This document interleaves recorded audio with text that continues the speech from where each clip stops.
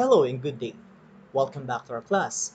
This is teacher Onin Guzman and our topic for today is proving statements on triangle congruence for grade 8 quarter 3 module 4. In creating a proof, you need to list down the information that are given, list down other information you can deduce and then determine what you're trying to prove. So though congruent triangle proofs can be a little bit challenging, here are the basic steps in creating a proof. So number one, mark the given information to the diagram. Number two is identify the congruent postulates or theorems to be used and the additional information needed and why. And finally, write down the statements and reasons. Make sure your last statement is what you are supposed to be proved.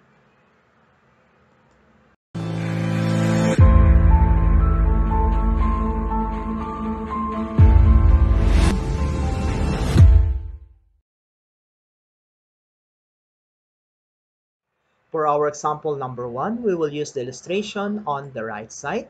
So O is the midpoint of AC and BD. So this is the midpoint.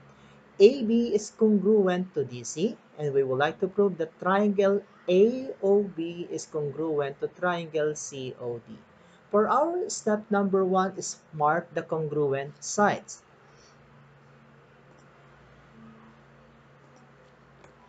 From the given, we can say that okay, uh, AO is congruent to OC because uh, O is the midpoint of line segment AC. Also, we can say that DB and the midpoint is O, so DO is congruent to BO also because O is the midpoint of the line segment DB. So number two, we have two sides congruence, so we can use now the SSS or side-side-side congruence postulate. For step number three, we will write our proof such that we have the statements and reason. For our first statement, so O is the midpoint of AC and BD, and the reason is it is given. For number two, AO is congruent to CO, as well as BO is congruent to DO because we use the definition of midpoint.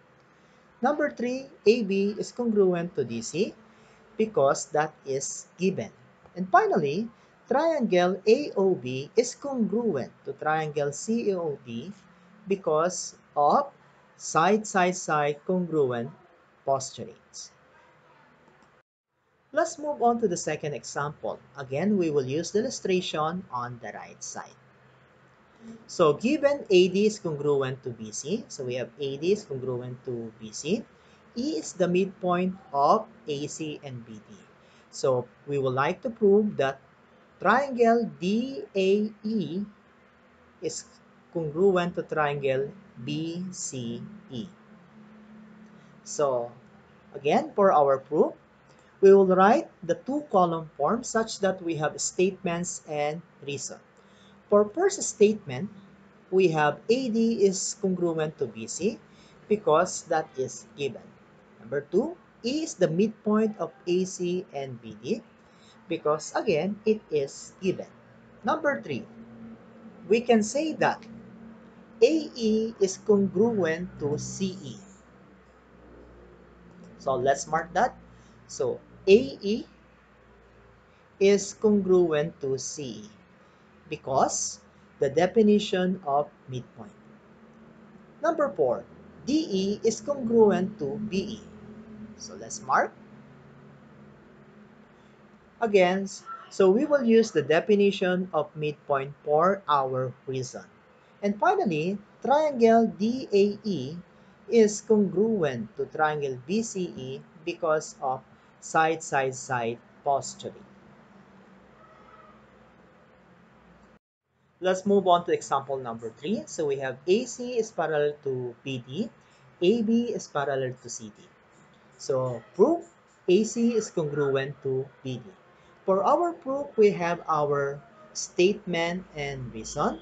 Again, for our statement number 1, AC is parallel to BD. So let's mark that 1. So this is the symbol. And our reason is given. Number two, we have angle ACB. So we have angle ACB is congruent to angle DBC. So let's mark that one here. And the reason is if two parallel lines are cut by transversal, then alternate interior angles are congruent. For number 3, AB is parallel to CD. So let's mark that one also. The reason is given. Number 4, angle ABC. So angle ABC is congruent to angle BCD. So let's mark also. And the reason is if two parallel lines are cut by transversal, then alternate interior angles are congruent. So let's continue our proof. For number 5, CB is congruent to CB. So we can say this is as reflexive property as our reason. For number 6, we have triangle ACB is congruent to triangle BDC because of ASA congruence postulate. And finally, we have AC is congruent to BD because corresponding parts of congruent triangles are congruent. Let's move on to our example number 4. Given that CH is congruent to EH and FH is congruent to GH. So, prove that angle C is congruent to angle E. For our proof, we will have again our two column form. So, we have for statements and reason. For our statement number one, so we have CH is congruent to EH as well as FH is congruent to GH. So let's mark that one first. So we have CH, okay, this line segment, okay, is congruent to EH. Okay, so we have also FH is congruent to GH. The reason is given. For number 2 angle, we have here angle FHC is congruent to angle GHE. And the reason is the vertical angle theorem. So let's mark that one. Number 3, so we have triangle FHC C is congruent to triangle GHE. And the reason is the side angle side congruent postulate. Number 4, angle C is congruent to angle E. And the reason is corresponding parts of congruent triangles are congruent. So that ends our topic on proving statements on triangle congruence. Again, this is teacher Onin Guzman. Do not forget to subscribe to my channel so that you will be notified about my new videos. Thank you.